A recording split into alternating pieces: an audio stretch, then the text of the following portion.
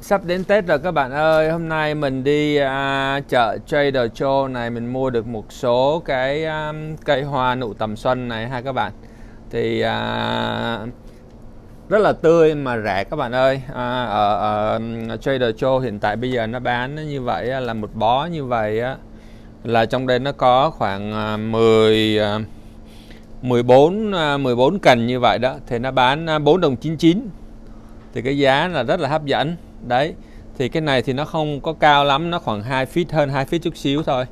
Nhưng mà à, đối với mình nó là là là vừa cái size. À, à, tất nhiên là có những cái size lớn hơn thì giá nó mắc hơn nhưng mà Trader Joe thì nó bán chỉ có cái loại này thôi ha. Thì mình mua như vậy là 6 bó à, đó là nụ tầm xuân. Là bây giờ mình sẽ à, bắt đầu à, quá trình à, nhuộm nó để cho nó ra cái màu mà mình muốn. Đó là cái thứ nhất cái thứ hai là mình đi um, à, uh, cái chợ Hobby Lobby mình mua được hai cái chậu uh, vàng ché này đấy các bạn. Để mà mình bỏ vô bỏ cái nụ tầm xuân của mình vô. Đấy hai cái hai cái cái cái cái cái, cái chậu vàng ché này thì ở chợ Hobby Lobby nó bán như vậy là 19 đồng 99 một chậu mà um, 50% off thì có nghĩa là buy one get one là có nghĩa là 20 đồng hai cái chậu này đấy hai cái chậu này à, mình à, mua để bỏ vô. Bỏ cái nụ tầm xuân sau khi mà mình à, mình mình nhuộm ha. Thì à, à, mình sẽ nhuộm cái nụ tầm xuân này bị dập bởi vì cái à, cái nụ tầm xuân original của nó chỉ có màu trắng thôi. Nhưng mà mình sẽ muốn đó là một chậu à, màu vàng. Đấy và một chậu màu đỏ. Thì à, hai cái cái màu ở cua lịch này mình cũng mua ở um, mua ở um, Hobby Lobby. Đó thì đây là cái hai cái nhãn hiệu nó gọi là ở Qualic uh, Color. Đấy thì một cái là màu đỏ và một cái màu vàng. Thì mình sẽ uh, tiến hành uh, thủ, thủ tục để mà mình uh, mình nhuộm hai cái màu này. Um, cái uh, dụng cụ mà mình có để mà nhuộm cái màu này thì đó là cái ờ, cái cái cái này để mà thường người ta để sơn nhà đó thì mình sẽ mình sẽ hòa và mình ờ, sẽ ấy. Và mình cũng không quên là một cái đôi găng tay đó để cho nó khỏi dính màu ha. Đây trước hết là mình sẽ đổ nước lạnh vô trong cái cái cái tray này ha. Rồi sau đó mình sẽ pha màu mình à, mang găng tay vô ha để cho nó khỏi dính cái à, màu vô trong đó. À, trong trong tay mình ha thì bây giờ mình sẽ đổ cái màu vô mình hòa mình pha nha. Đổ cái màu vàng vô đó cái màu thì nó ra nó ra giống như vậy đó. Đây mình sẽ lấy à, lấy đồ mình quậy lên ha. Mình sẽ tiếp tục đổ cái màu vô và mình sẽ mình sẽ sẽ quậy nó lên cho nó ra cái màu ha. Đấy bây giờ nó ra cái màu vàng rồi đây. Đấy nó ra cái màu à, màu vàng rồi. Đấy. Mình sẽ mình sẽ nhuộm cái màu vàng. Mình chắc phải đổ thêm chút xíu nữa.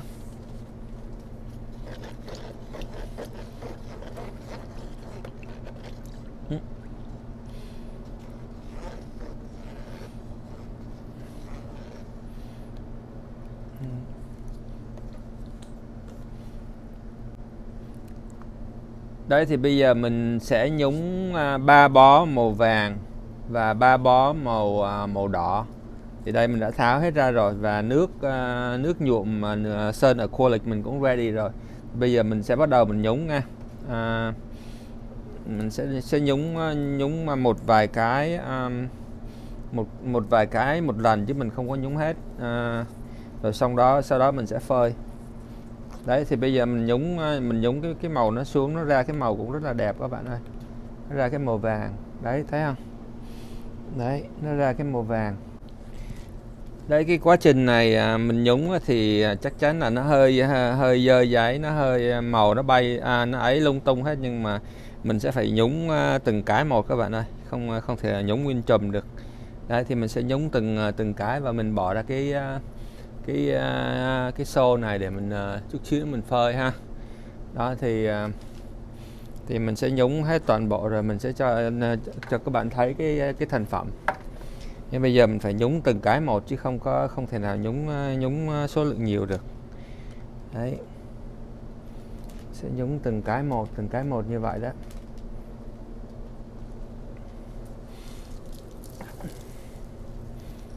Cũng mau thôi nhúng thì cũng mau thôi nhưng mà nói chung là nó hơi ờ, nó hơi dơ nó nó văng nó văng lung tung hết. Đó thì à, mình sẽ phải nhúng từng cái một chứ không có nhúng ờ, được một số lượng nhiều.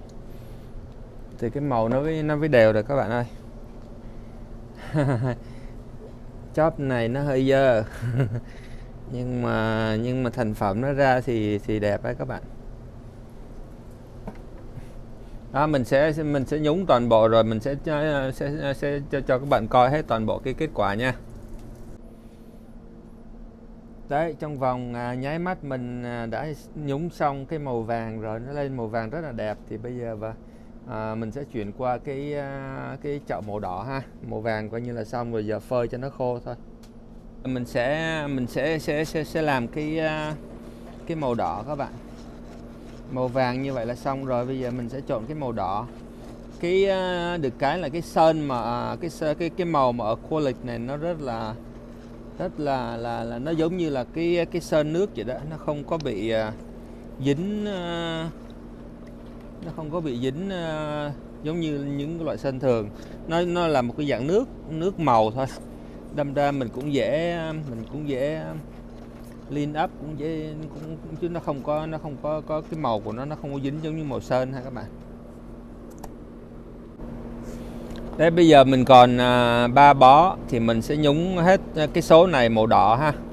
Đó, thì mình sẽ sẽ nhúng toàn bộ màu đỏ à, one by one. Rồi bây giờ mình sẽ bắt đầu mình nhúng ha. Đấy, màu đỏ thì bây giờ mình sẽ nhúng ra màu đỏ đây.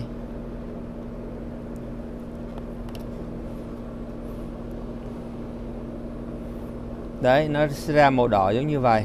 Đấy thì à, mình sẽ nhúng nhúng hết toàn bộ à, từng cái một. Đấy bây giờ mình đã xong cái à, cái bình màu đỏ rồi thì bây giờ mình sẽ bỏ lên cái quạt này mình phơi. À, cho nó, nó nó khô ha phơi cho nó khô à, cho nó ra thành phẩm rồi có mình sẽ bỏ vô trong à, trong cái cái cái cái bình. Trèo lên cây bưởi hái hoa bước ra vườn cà hái nụ tầm xuân. Nụ tầm xuân nở ra xanh biếc. Em có chồng anh tiếc lắm thay.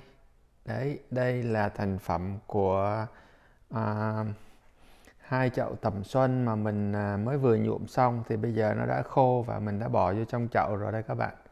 Đấy thấy màu thấy màu của nó lên à, cũng vàng cũng đẹp ghê không? Đó thấy không? Nhất là mình thích nhất thích nhất là cái chậu màu vàng này. Đấy à, chậu màu vàng nó đi cùng với lại cái ờ, cái um, cái bình màu vàng và cái màu vàng nó uh, nó trùng với lại cái um, uh, cái màu hoa cúc của mình. Uh, và đây là cái um, chậu màu uh, hơi uh, đỏ. Đỏ có có phần đỏ uh, hơi hơi đỏ tía.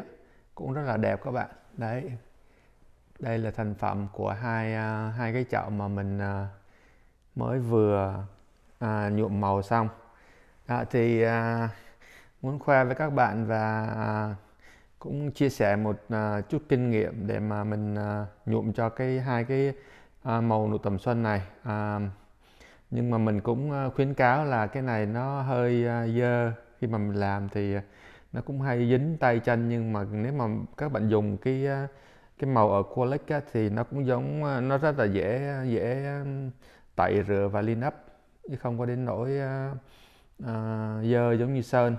Nhưng mà nếu mà các bạn sợ dơ thì nếu mà ai người ta bán mà nó bán sẵn mà đã có, có màu sẵn thì nên mua cái màu đó tốt hơn là mình mình về mình làm. Mình làm thì nói chung là có kinh nghiệm làm thôi. Chứ còn nó sẽ nó sẽ sẽ sẽ, sẽ dơ và ấy hơn. Nhưng mà khi mà mình làm á, thì mình mình mình muốn làm theo kiểu nào nó ra kiểu đó.